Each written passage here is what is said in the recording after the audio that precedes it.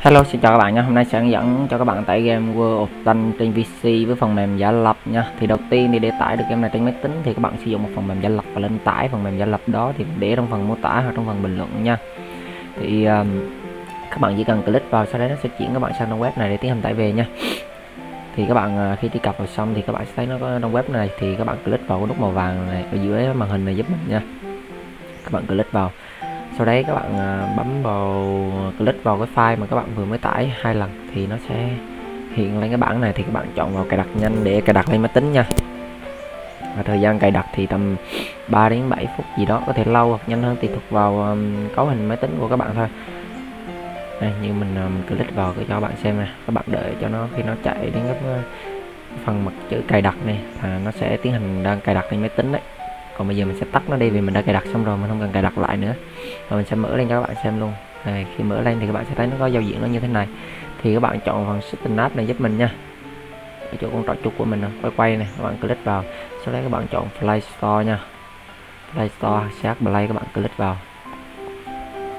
Sau khi mà ừ, click vào thì các bạn đăng nhập tài khoản Google Gmail của bạn vào nha. Đăng nhập vào thì mới có thể sử dụng được. Đăng nhập vào xong thì các bạn sẽ thấy nó có giao diện uh, như thế này thì các bạn click vào cái ô tìm kiếm trên cùng này. Các bạn gõ.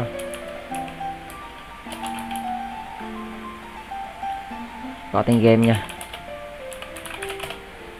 Thì nó sẽ ra game này. Và bước cuối cùng đó chính là cài đặt game này nha.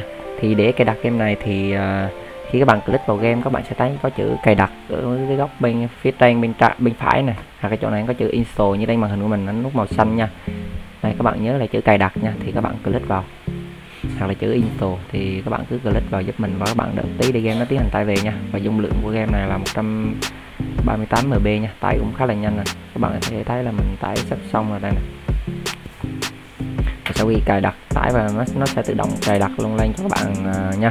Thì uh, cài đặt xong thì cái nút play này nó sẽ sáng lên hoặc cho nó chỗ nút play này nó có chữ uh, Uh, open chữ mở, thì các bạn click vào game thì game sẽ mở lên và các bạn có thể đăng nhập tài khoản và có thể bắt đầu chơi được rồi đấy. Chúc các bạn chơi game vui vẻ nha. Còn bây giờ các bạn thì xem mình trải nghiệm game này.